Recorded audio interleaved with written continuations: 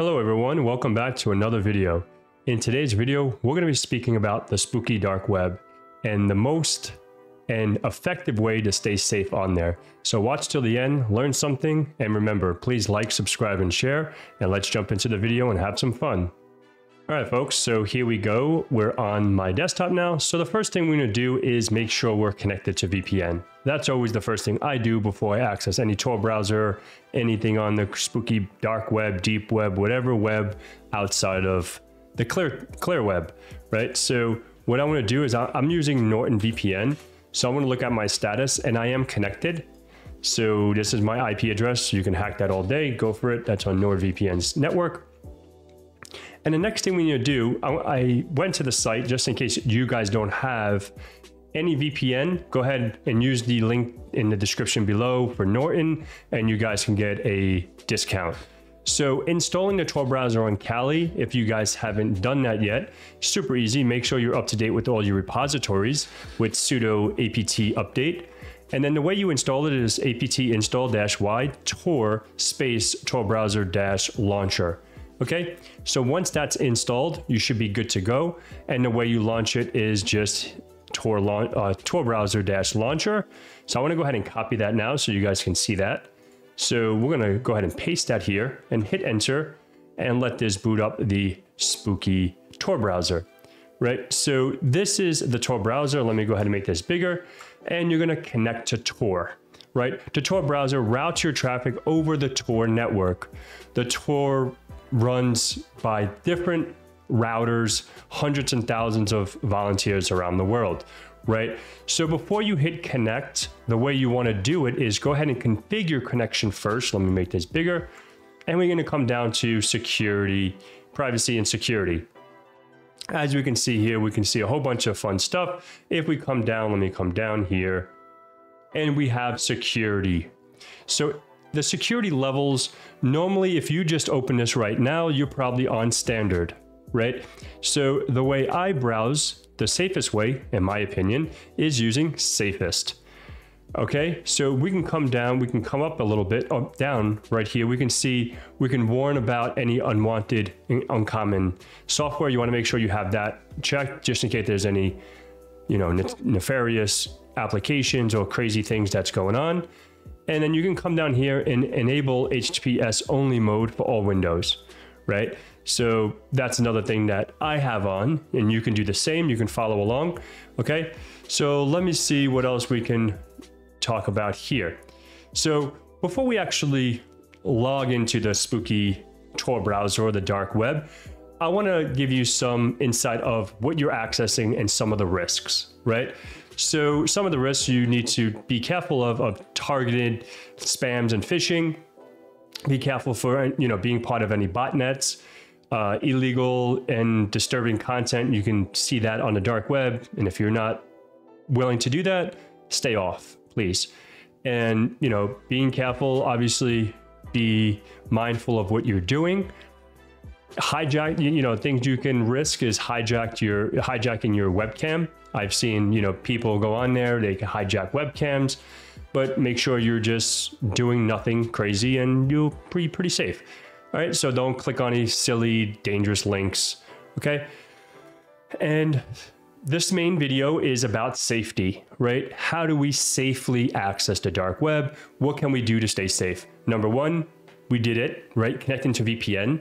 That's the number one. We want to try to anonymize ourselves as best as possible. Number two, you can install any like EDR, antivirus, any kind of protection on your computer. Obviously, I'm using a Kali Linux machine, so I don't really have anything like that on there. Uh, use safe and privacy applications and enhancing applications, right? We could do that. We can download, obviously, the Tor browser from the source that it's originated from. You can compare hashes, make sure it's all good to go. You want to obviously secure your device, make sure you're behind a firewall, all that good stuff.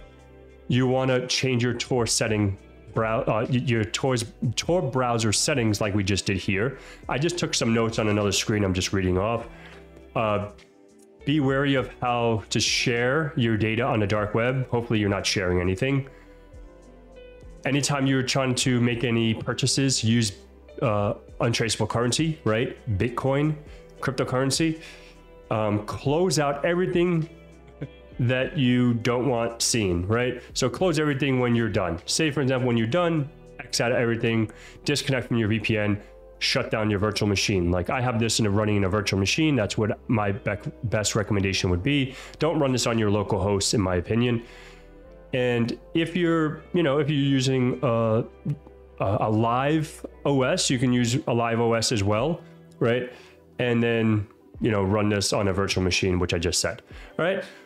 Cool deal. So we just talked about all that. And let's see, what else do we talk about that I have in my notes here? I think that should be it, right? So we are connected to VPN. So just a little, you know, just one last thing. We have different layers of the internet, right? We have the surface web or the clear web. Everyone goes on Google, Yahoo, Bing, whatever. Then we have the deep web, right? So this deep web has any content that is not indexed by search engines, right? Like Google and Bing and so on and so forth. The, these include files, company networks, right?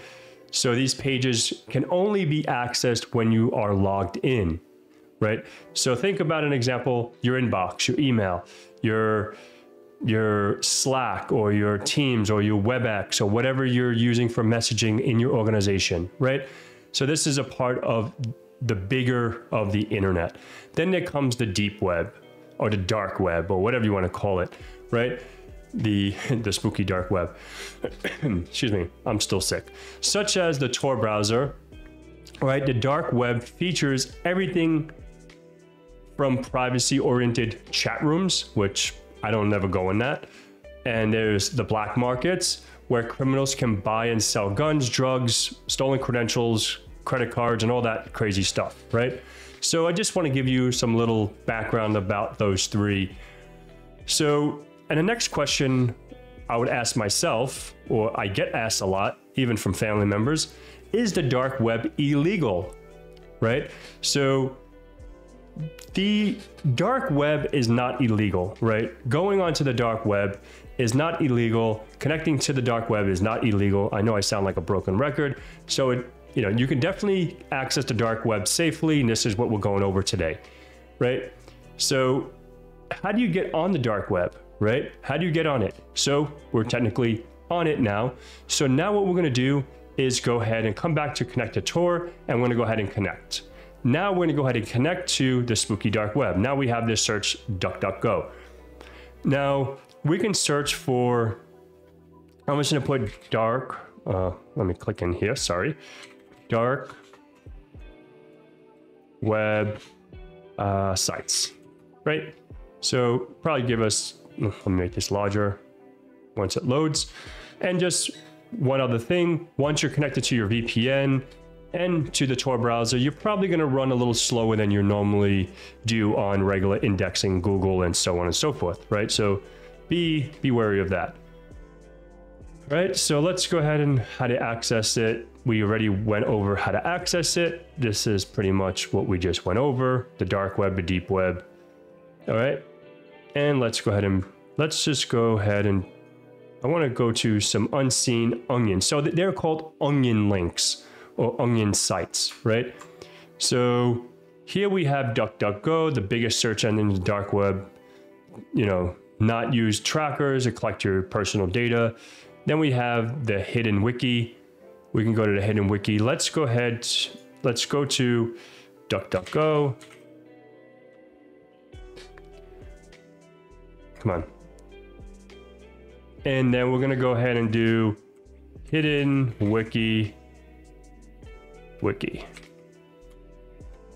Okay. So let's go ahead and click that. And remember, it's gonna take a little bit, so be patient.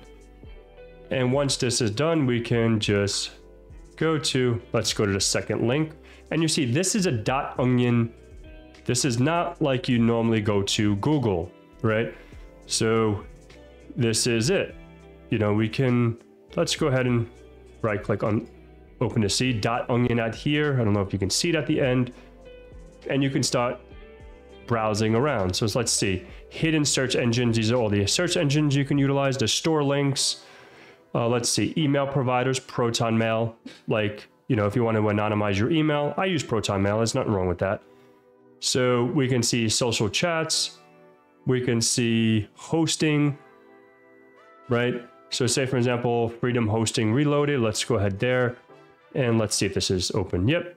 So say, for an example, we want to go by Black Cats, right? Black Cats. I don't know. I don't know all right, so you could see that this is a search engine. That's not Google, it's dot .onion, right? Then we have this freedom hosting reload, free of charge, blah, blah, blah.